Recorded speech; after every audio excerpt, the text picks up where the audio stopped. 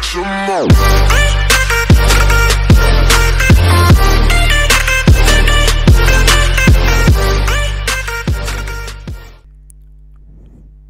সুপ্রিয় শিক্ষার্থীবৃন্দ, আসসালামু আলাইকুম। সকলকে স্বাগত জানাচ্ছি আরও একবার। আমরা গত ক্লাসে যে অধ্যায়টি পড়েছি, অষ্টম শ্রেণির বাংলাদেশ বিশ্ব পরিচয়ের নবম অধ্যায়ের প্রথম পরিচ্ছেদ সম্পর্কে পড়েছি বা প্রথম পর্ব সম্পর্কে আলোচনা করেছি।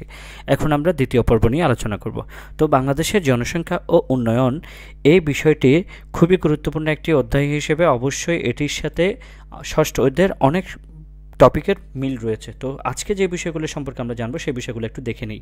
তো আজকে আমরা মূলত জনসংখ্যার সাথে জনসম্পদের যে সম্পর্ক, সেই বিষয়টা সম্পর্কে জানব।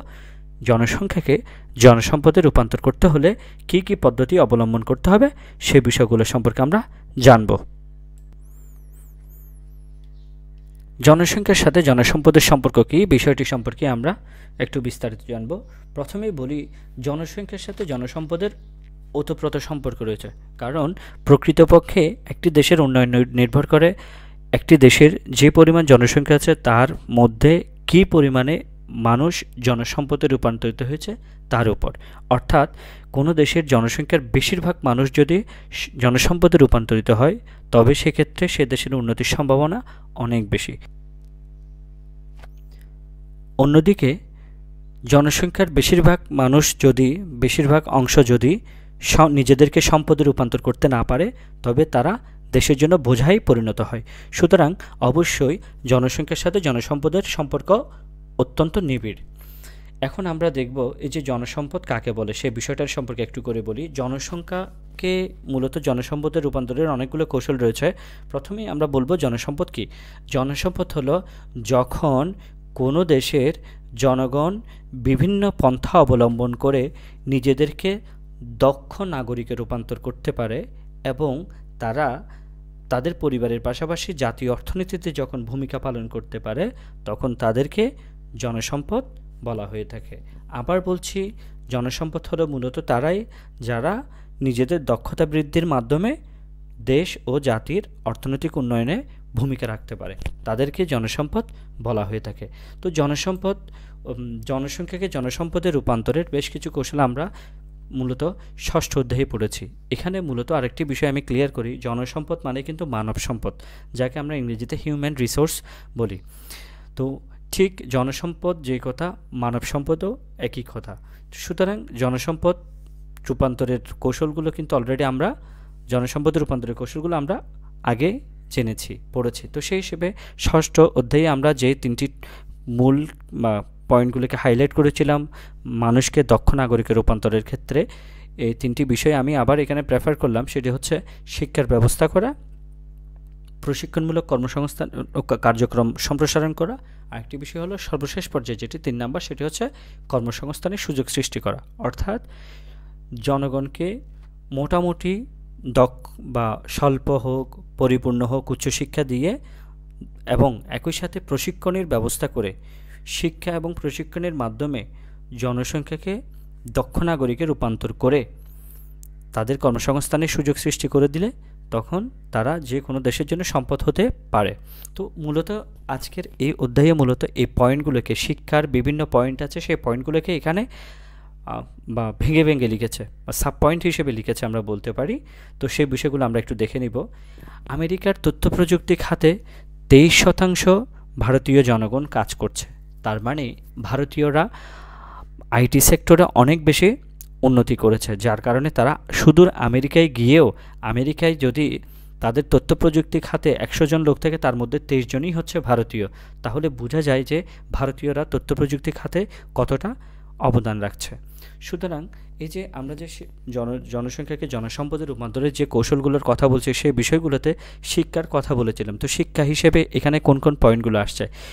শিক্ষার ক্ষেত্রে আমরা শিক্ষাকে অর্ধ বা প্রাথমিক শিক্ষার কথা বলতে পারি মাধ্যমিক শিক্ষা, উচ্চ মাধ্যমিক শিক্ষা অথবা হাতে কলমে শিক্ষা বা কারিগরি শিক্ষার কথা বলতে পারি, যুবনমূলক, উন্নয়নমূলক প্রশিক্ষণের কথা বলতে পারি, অনেকগুলো বিষয় বলতে পারি, নারী শিক্ষার কথা বলতে পারি, ঠিক আছে?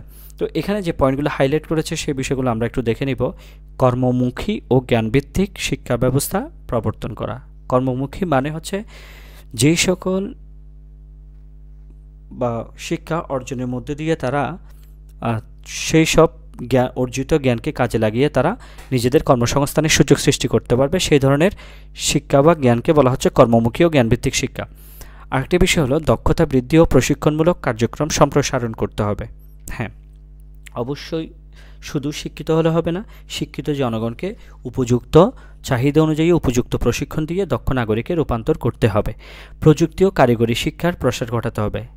আধুনিক বিশ্বে আমরা জানি পৃথিবীতে এখন বর্তমানে এই যে বিজ্ঞানের জয় জয়কার, পৃথিবীতে এমন কোনো রাষ্ট্র নেই যারা বিজ্ঞান ছাড়া চলতে পারে। বিজ্ঞানের ক্ষেত্র দিনের পর দিন প্রসারিত হচ্ছে। ভবিষ্যতে যে দিনগুলো আসছে আমরা জানি না যে কতটা মানুষ আইটি সেক্টরের উপর নির্ভরশীল হয়ে পড়ে। সুতরাং প্রযুক্তি এবং কারিগরি জ্ঞানকে অবহেলা করার তুচ্ছ তাচ্ছিল্য করার কোনো সুযোগ নেই। বরং যে জাতি এই দুটি সেক্টরকে যত বেশি গুরুত্ব দিবে, সেই জাতির উন্নয়নের সম্ভাবনা তত বেশি। সুতরাং বিশেষ করে আমরা জানি বাংলাদেশের ক্ষেত্রে যদি বলি, প্রযুক্তি খাতে কিন্তু অনেক মানুষের কর্মসংস্থানের সুযোগ সৃষ্টি হয়েছে। আমরা জানি বাংলাদেশে অনেক ছেলেমেয়েরা কিন্তু ঘরে বসেই কিন্তু ফ্রিল্যান্সিং করে লক্ষ লক্ষ টাকা আয় করছে।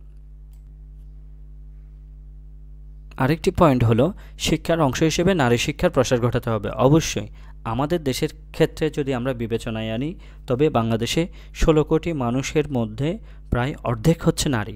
তো কাজেই আট কোটি নারীকে ঘরে বন্দি রেখে অথবা তাদেরকে বেকার রেখে দেশের অর্থনৈতিক উন্নয়নের কথা ভাবাই যায় না। সুতরাং অবশ্যই নারী শিক্ষার প্রসার ঘটাতে হবে। তারাও যাতে অর্থনীতিতে অবদান রাখতে পারে, পরিবারে অর্থনৈতিক অবদান রাখতে পারে, সেদিকে নজর রাখতে হবে। স্বাস্থ্য ও পুষ্টি সেবার প্রসার ঘটানো, অবশ্যই। এর আগেও বলেছি, স্বাস্থ্যবান মানুষ দেশের জন্য সম্পদ। অসুস্থ, পুষ্টিহীন অপুষ্টিতে ভুগে এমন মানুষ দেশের জন্য বোঝা, এমনকি পরিবারের জন্য বোঝা। সুতরাং জনগণকে দক্ষ এবং না উপযুক্ত প্রশিক্ষণ দিয়ে রাষ্ট্রের অর্থনীতিতে গুরুত্বপূর্ণ ভূমিকা রাখার জন্য গড়ে তোলার ক্ষেত্রে অবশ্যই স্বাস্থ্য এবং পুষ্টি সেবা নিশ্চিত করতে হবে। আরেকটি বিষয় হলো, সেই সকল শিক্ষার খাতগুলোকে সবচেয়ে বেশি প্রায়োরিটি দিতে হবে বা প্রাধান্য দিতে হবে যেগুলো উৎপাদনমুখী, সম্ভাবনাময়, যে সকল আমাদের দেশে এখন পর্যন্ত বিশেষ করে আমরা বলতে পারি যে ওষুধ শিল্প খুব সম্ভাবনাময়ী। কাজেই যেই সকল সেক্টর জাতীয় অর্থনীতিতে গুরুত্বপূর্ণ ভূমিকা রাখতে পারে ভবিষ্যতে, সেই সকল উৎপাদনমুখী খাতগুলোকে সবচেয়ে বেশি প্রায়োরিটি দিতে হবে এবং প্রশিক্ষণমূলক কার্যক্রম সম্প্রসারণ করে জাতীয় অর্থনীতির উন্নয়নের চেষ্টা করতে হবে।